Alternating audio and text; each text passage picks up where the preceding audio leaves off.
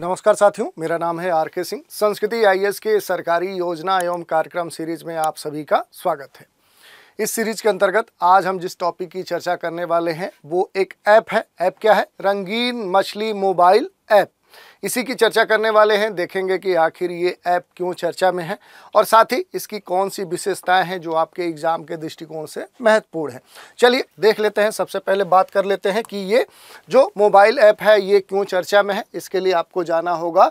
कहाँ पर? तो आपको जाना होगा पीआईबी की वेबसाइट पर। वहीं पर इसके बारे में दिया गया है, जो यूनियन मिनिस्टर श्री राजीव रंजन सिंह है। इन्होंने लॉन्च किया है रंगीन मछली ऐप।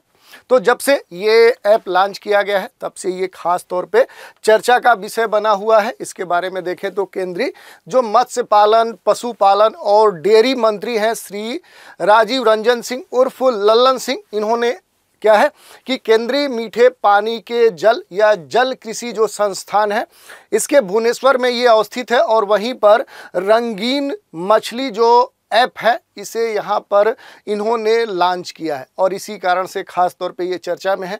इस कार्यक्रम में देखें तो मत्स्य पालन पशुपालन, डेयरी जो कह सकते हैं मंत्री हैं, वो भी यहाँ पर उपस्थित थे। इसके अलावा कहें तो प्रधानमंत्री मत्स्य जो संपदा योजना है P M M S Y उसके सहयोग से खास तौर पे एफ़ ए के द्वारा विकसित यह जो मोबाइल ऐप है, खास तौर पे जो सजावटी मत्स्य पालन क्षेत्र है, उसकी बढ़ती जो ज़रूरतें हैं, उनको पूरा करने के लिए खास तौर पे इस ऐप को बनाया गया है।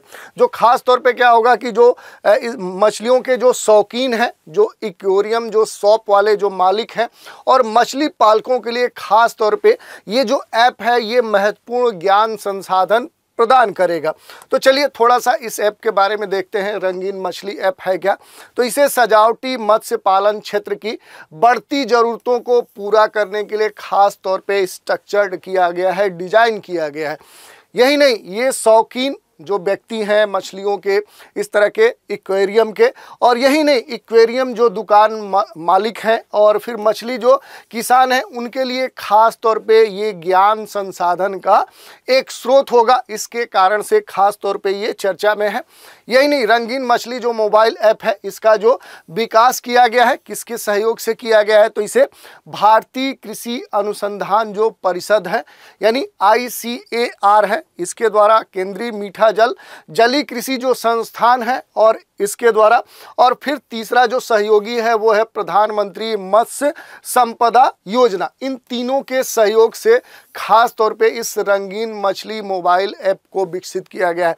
तो देखिए, ये आपके परीक्षा में पूछा जा सकता है कि ये जो रंगीन मछली मोबाइल ऐप है, इसके विकास में किन किन का सहयोग है। तो ये हमने देख लिया।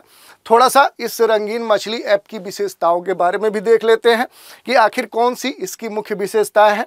यह जो ऐप है, ये आठ भारतीय भाषाओं में लोकप्रिय सजावटी मछली प्रजातियों पर बहुभाषी जानकारी प्रदान करेगा, जिससे यह व्यापक दर्शकों के लिए सुलभ हो जाता है।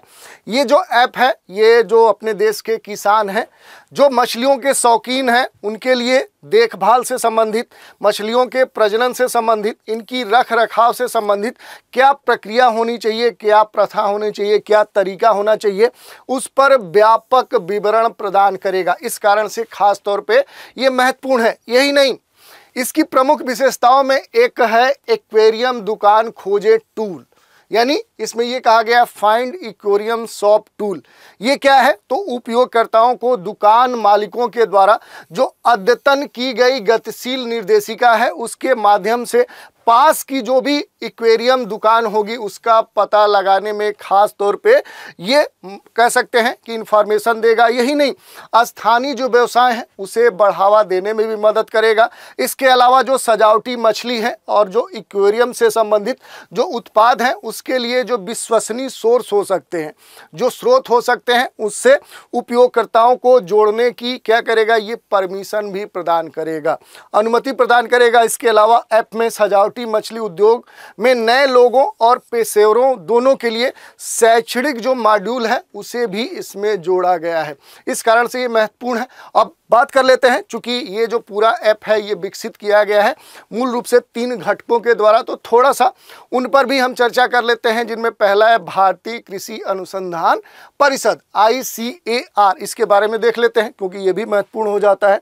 तो ये क्या है? तो यह कृषि अनुसंधान एवं शिक्षा विभाग, कृषि एवं किसान कल्याण मंत्रालय के तत्वाधान में पूरे देश में कृषि में अनुसंधान और शिक्षा के समन्वय, मार्गदर्शन और प्रबंधन के लिए क्या है? ये सर्वोच्च निकाय है। यही नहीं, रॉयल कमीशन की कृषि पर रिपोर्ट के अनुसरण में सोसाइटी रजिस्ट्रीकरण अधिनियम 1860 के तहत पंजीकृत है और 16 जुलाई वर्ष उन्नीस को स्थापित। इस सोसाइटी का पहले जो नाम था वो imperial council of agricultural research था, जिसे बाद में बदलकर भारतीय कृषि अनुसंधान परिषद कर दिया गया। इसका जो हेडक्वार्टर है वो देश की राजधानी नई दिल्ली में है। तो ये हमने देख लिया। दूसरा जो सहयोगी है वो है आईसीएआर यानी क्या है? केंद्रीय मीठा जल जल कृषि संस्थान।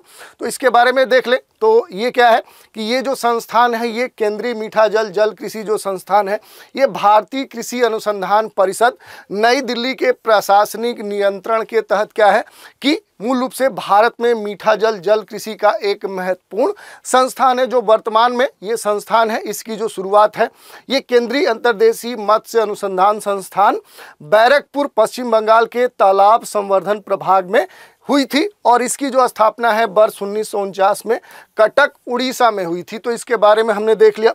तीसरा जो है, वो है प्रधानमंत्री मत्स्य संपदा योजना। इसका भी सहयोग इस, कह सकते हैं, रंगीन मछली ऐप बनाने में किया गया है। तो थोड़ा सा इसके, इस योजना के बारे में भी देख लेते हैं। प्रधानमंत्री मत्स्य संपदा जो योजना है, P M M S Y जिसको हम बोलते हैं, ये मत्स्य क्षेत्र पर आधारित एक विकास योजना है, जिसे आत्मनिर्भर भारत पैकेज के तहत वित्त वर्ष 2024-25 तक सभी राज्यों में कार्यान्वित किया जाना है ये लक्ष्य निर्धारित किया गया है। इसके अलावा अगर इस योजना की बात करें तो ये उत्पादन उत्पादकता में वृद्धि के लिए बनाया गया है, मत्स्य प्रबंधन और नियामक ढांचा को और विकसित करने के लिए बनाया गया है। टेक्नोलॉजी जो इन्फ्यूजन है, वो भी इसमें शामिल किया गया है और इंफ्रास्ट्रक्चर एंड पोस्ट हार्वेस्ट प्रबंधन को भी इस योजना में शामिल किया गया है। यही नहीं, किसान क्रेडिट कार्ड और नाबार्ड की मदद से किसानों को बैंक ऋण, मछली पालन के लिए ट्रेनिंग और सब्सिडी इस योजना के तहत प्रदान की जाती है। केसीसी कार्ड रखने वाले किसानों को बिना गारंटी के दो लाख रुपए तक का कर्ज लेने की सुविधा भी प्रदान की जाती है, जिस पर सिर्फ़ सात फ़ीसदी की दर से इंटरेस्ट लगता है। और बैंक ऋण को यदि समय से पहले भुगतान कर दिया जाता है तो ब्याज पर तीन प्रतिशत की अतिरिक्त छूट भी दी जाती है। मोदी सरकार की इस योजना पर बीस हज़ार पचास करोड़ रुपए का निवेश किया जाएगा और इस योजना के अंतर्गत जो बीस हज़ार पचास करोड़ रुपए का निवेश मत्स्य क्षेत्र में होने वाला अभी तक का सबसे बड़ा निवेश है और इस कारण से भी ये चर्चा का विषय बना हुआ है। तो इस तरह से हमने देख लिया कि आखिर रंगीन जो मछली ऐप है वो है क्या?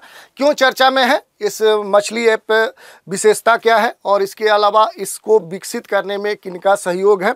इनके जो सहयोगी घटक हैं, उनके बारे में भी हमने देख लिया। तो आज के एपिसोड में इतना ही। नए एपिसोड में एक नए कार्यक्रम के साथ फिर मिलेंगे तो आप हमारे साथ बने रहें। इसके लिए धन्यवाद।